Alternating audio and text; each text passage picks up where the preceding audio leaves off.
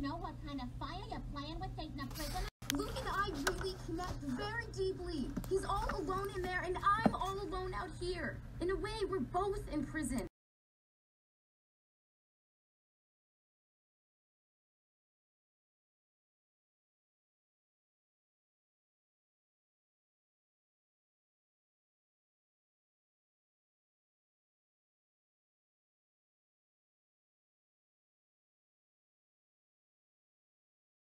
There was a riot in the prison yard and I slipped over the fence. Well, well, quick, get in here before somebody sees you.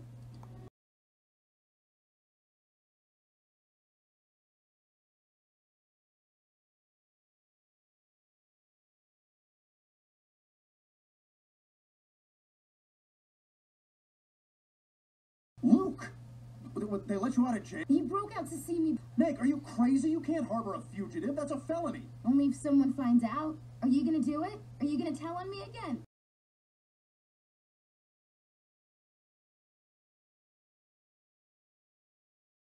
This is the police. You are under arrest. Step away from the edge of the room. Put your hands on